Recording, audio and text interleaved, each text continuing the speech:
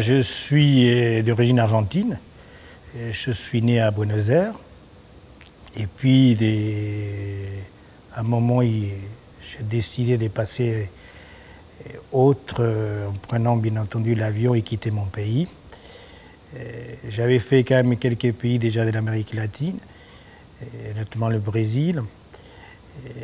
que ça a été une première rencontre avec des, couleurs magnifiques, puisque c'est des pays qui, travaillent avec des couleurs extrêmement fortes. J'associe énormément la matière, la matière de, quel que soit le pays où, j'y vais. Je, récolte un petit peu de, ce qui traîne à droite et à gauche.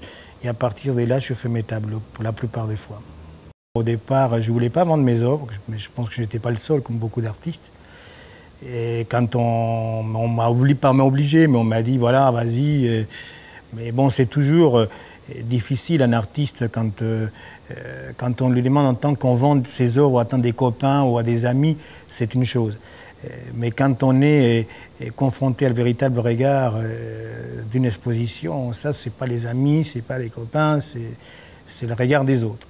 Et, je pense qu'un artiste doit être prêt au regard des autres. Ce n'est pas toujours évident.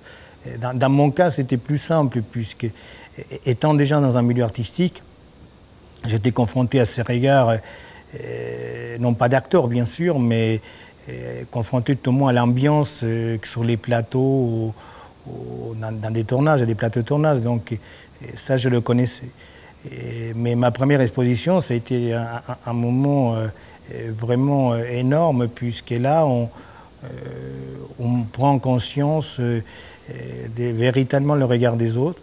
Et j'ai eu peut-être beaucoup de chance parce que au, ils m'ont peut-être menti, mais en tout cas, en tout cas, c'était c'était quelque chose de très positif. Souvent, on dit euh, un artiste. Bon, c'est vrai que le mot, le mot, artiste, je dis toujours, faut le laisser pour la jet set parce que moi, je dis toujours, c'est plutôt un. Je suis un marchand des, des couleurs, un artisan des couleurs, puisque au même temps. Je prends des pièces, j'ai le souvenir de. C'était au mois de il y a un an, je remportais le, un concours qui est une idée en déchets ici en Polynésie.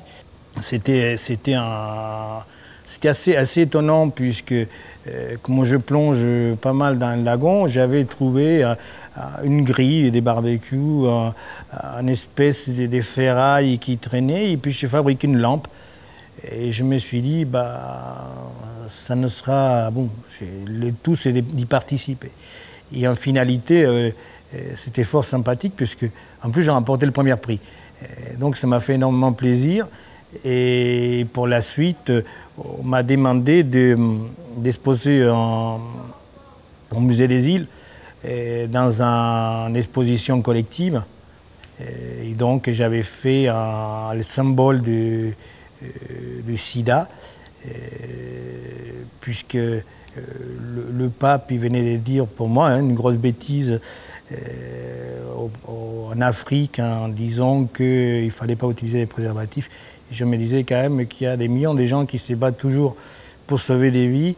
Euh, et je pense que la religion, c'est bien, mais il faut laisser la religion s'occuper de la religion, il faut laisser les médecins et la médecine s'occuper de cela. Et les artistes, quand ils peuvent dire quelque chose, notre moyen d'expression, et je trouvais ça euh, formidable de pouvoir le faire et c'était un grand plaisir aussi d'y participer. La Polynésie, c'est comme beaucoup de réponses aussi, que c'est pratiquement la même. C'est-à-dire, j'ai une amie qui, qui l'a installée depuis une quinzaine d'années. Et il m'a dit, écoute, ça serait bien que tu passes me voir, que tu, tu me fasses un petit clin d'œil euh, en Polynésie. Et puis je suis venu pour rester uniquement un mois. Et de ces mois, il s'est transformé un mois de plus et un mois de plus. Et maintenant, ça fait un an.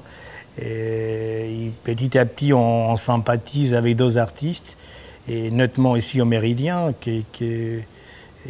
on a la chance d'avoir un directeur d'hôtel qui est ouvert à, l'art et il a donné la place aux artistes et je trouve ça vraiment fantastique. Autant on peut, euh, souvent il y a des artistes qui sont passés ici, je, fais plusieurs fois l'atelier, on dit oui mais quand on est nombreux euh, on n'arrive pas à s'isoler. Mais dans le fond, euh, quand on est pris dans sa peinture, euh, euh, on s'isole même malgré le bruit et tout ce qu'il peut avoir autour. ce qui est bien, c'est de voir les couleurs, la façon de travailler de chacun. Euh, donc on partage des moments, on apprend les uns et des autres, euh, puisqu'on a une vision sur certaines peintures, et, c'est ça qui est, magique dans, de travailler ensemble dans un atelier, c'est ça qui est bien, c'est de pouvoir partager des moments avec d'autres artistes. Je pense que c'est vraiment le plus, euh, je dirais le résumé d'un atelier, c'est en dehors de l'endroit et du cadre, qui est aussi magnifique, le partage avec les autres artistes.